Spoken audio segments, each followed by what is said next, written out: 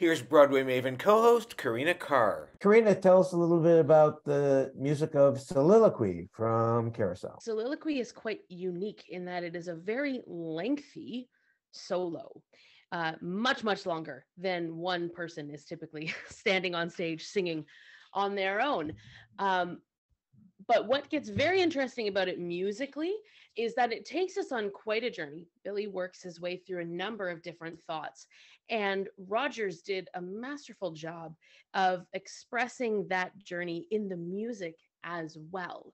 So I'd like to take a look at each of those nine sections and what they tell us about where Billy is in his thought process and what happens musically. Um, so just before this, Billy has found out that he's going to be a father.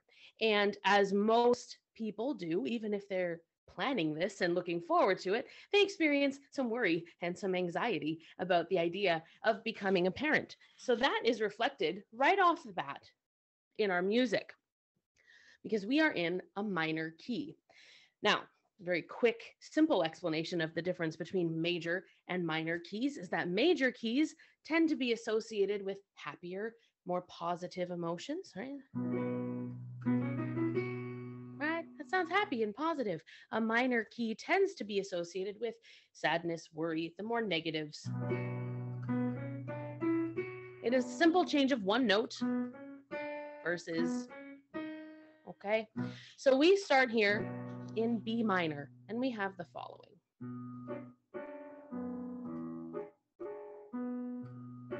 Now, if we had that in a major key, it would sound like this.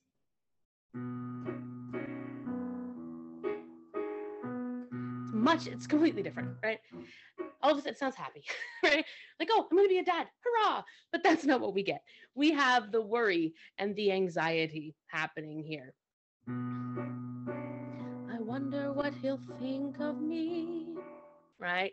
And this carries through as Billy thinks about what this child is going to think of him, specifically what his son will think of him. And as we move to the second section, we have three things that change that lead us into this. And these three things, in some combination, mark every new section in the music. We see either a change in the tempo, which is the speed of the music, the key, right? Major, minor, or we switch from one major key to another, the music gets higher or lower, or we have a change in the time signature, which is how we count it, which can also change how the speed feels. Okay, so in this case, all three things change. We move to a major key, which I just gave you a clue, means we've gotten a little happier. We also have a change in the tempo. Originally, we had moderato, which means moderately. In this section, we have allegro, which is fast and lively. And our time signature moves from four, one, two, three, four, to two, one, two, one, two, which again makes it seem like it's moving along a little faster. And it sounds like this. My boy Bill, I will see that he's named after me. Right? And we have a sense in this music that there's more levity, there's more happiness, there's some hope here as Billy moves from thinking about uh, what might be and being worried about what he can offer to thinking about who his son might be, what he's going to look like, how he's going to act. And if you were with me last week, oompa, oompa, oompa, oompa. There it is. And it comes up a few times in this song, but there's the first one that I'll point out. So this carries us through the second section, and we have this more happy feeling in the music underneath. The Broadway Maven is the only free weekly Broadway appreciation course you'll find online. Every week we look at topics as diverse as Wicked, Mel Brooks musicals, and Gershwin on Broadway. When we move to our third thought, this is where Billy starts to think about what his son might do. What's he going to do for a job, right? And we have a couple of changes. Again, our tempo now says with movement, right? And our time signature moves to six, eight. So instead of one, two, one, two, we have one, two, three, four, five, six, one, two, three, four, five, six, one, two, three, four, five, one, two, three, four, five, six. So it has more movement. And to me, it sounds very determined. I don't give a damn what he does as long as he does what he likes, right? And to me, Billy is saying that he really is just determined that this son will be happy. And it doesn't matter to him what that son does as long as he's happy. Or does it matter?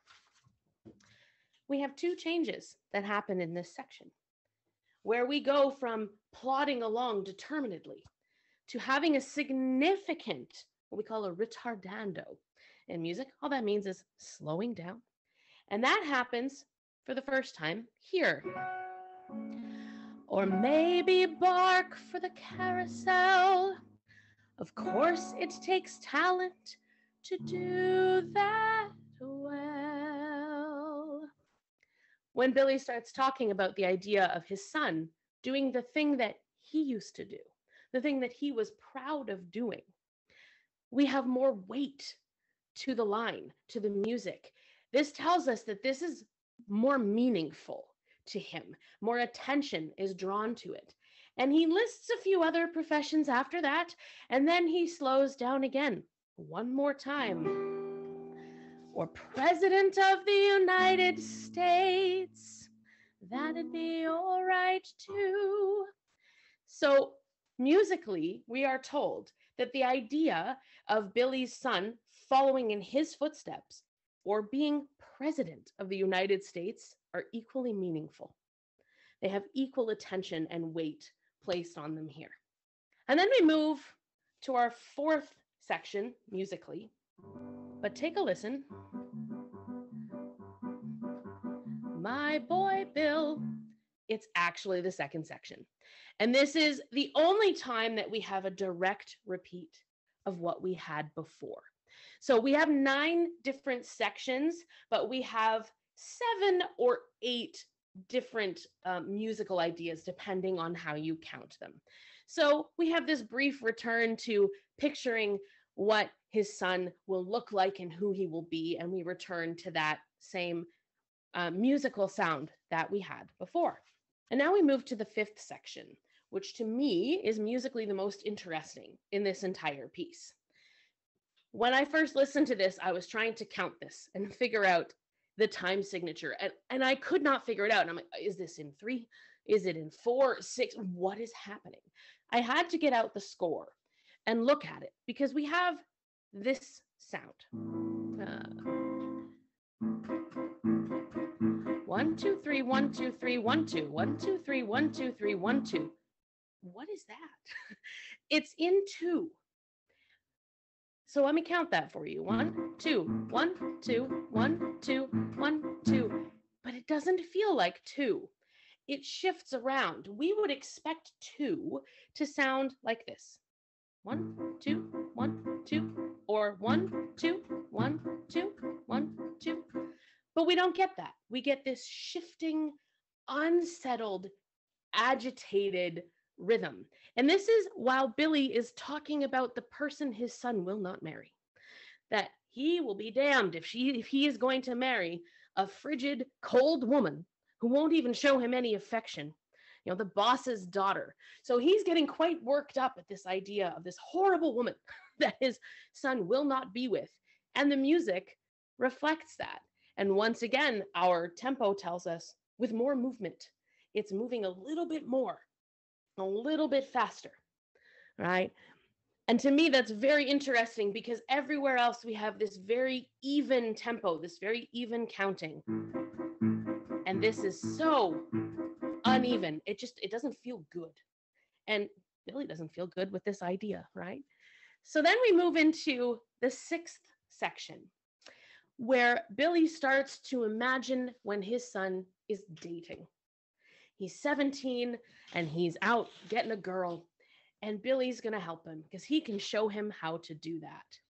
So we have a slowing down of the tempo here, and we get what is, in my opinion, the most relaxed section of this song. And sounds something like this. I can see him when he's 17 or so. Right? It's very even, it's very settled, it's very confident. because Billy believes in his ability to teach his son how to get a girl. He knows he can do that. So our melody is much more luxurious and melodic. It moves around more because he can just sit back and relax because he knows that this is a thing that he can do. But all of a sudden, this brings him to the horrifying realization that his child might be, oh no, a girl. The Broadway Mavens Weekly Blast comes out every Thursday. It contains essays, reviews, YouTube gems, surveys, and more. And this brings us to section number seven. And when we get here, the idea that the child might be a girl brings back the anxiety and the worry that Billy was feeling at the beginning. And so we have two of the three things from our opening section return exactly. We return to 4 4 time, and the instructions actually say original tempo. We are also in a minor key again. We're just in a different minor key. But have a listen. Mm. This is the same as what we had at the beginning. I wonder what he'll think of me. The only difference here is that Billy speaks most of the melody instead of singing it. And so it goes slightly unnoticed, but the music is telling us that all of that anxiety and worry has returned, which is why I said it depends how you count it. You could say that section seven is the same as section one, but they're a little different. So you can count them differently as well. So now, as he starts to move to thinking, I don't have any idea how to care for a girl, I don't know how to do that. Then he starts to think about what she might be like. And again, as happened when he thought about his son, that brings a little bit of confidence back and a little bit more levity. And he, for the first time, mentions the mother of this child. And he starts to imagine that his daughter might be like her mother.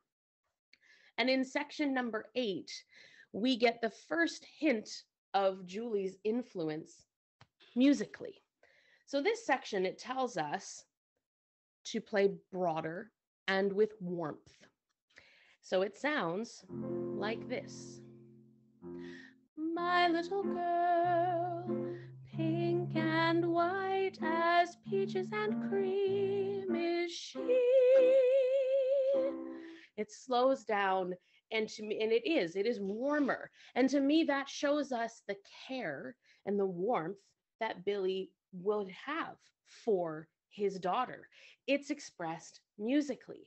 But what's really interesting in this section is actually the next line.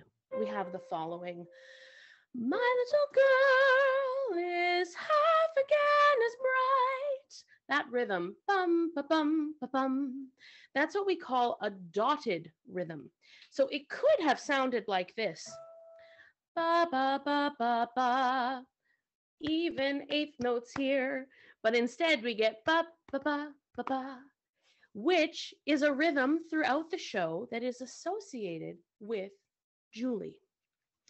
If we go all the way back to the opening scene with uh, Julie and Carrie, sorry, there's the carousel scene before, but their opening scene together, we have um, Carrie sings, You are quieter and deeper than a well.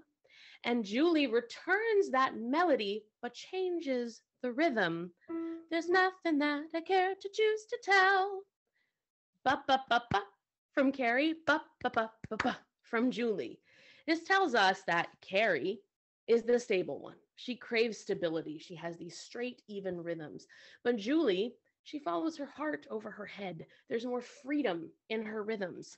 And Billy returns that exact same melody when he whistles to her during the bench scene, and he whistles Julie's rhythm, ba, ba, ba, aligning himself with her, both character wise, but also musically. So, in this eighth section of soliloquy, we have those dotted rhythms. Half again as bright as girls are meant to be all these dotted rhythms showing Julie's influence on Billy here as he thinks about his daughter. So, moving into our ninth section, we again have a change in the key signature, the time signature, and the tempo. All three things change as we bring this home on this very long journey that Billy has gone through. And the accompaniment sounds something like this.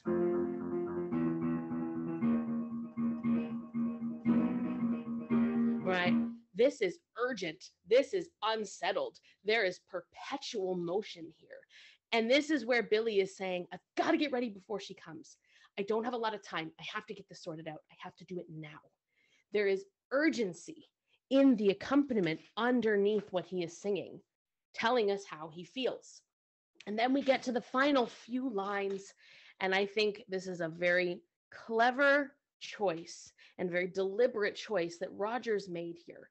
And we have to first understand what a baritone is. So we have in the male voices typically tenors are the highest, baritones are in the middle, basses are the lowest. So a baritone is not as high as a tenor, not as low as a bass. And this song comfortably sits in the middle range of a baritone. Typically, a baritone is defined as singing as high as an E. This E that I'm playing right here. But at the end of this song, Billy has to sing money and F, one note higher. Money, but I'll try, by God, I'll try. I'll go out and make it or steal it and higher. He goes up to the G, which is another two notes higher.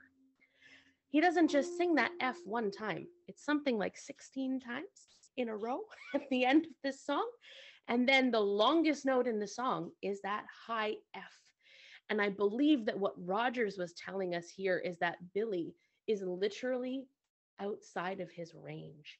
He is willing to put this massive Herculean effort into caring for this child. He will do whatever he can for better or for worse, as we then learn later in the show. And immediately after this is when he makes his fateful choice. Um, and so I think that that was a very deliberate decision from Rodgers to repeatedly have this note that really is just a little too high, uh, make him work just a little too hard and push his boundaries. So that is how Rodgers' music supports the journey that Billy goes on emotionally in soliloquy. Please like and subscribe. And here's a Piano Talks playlist.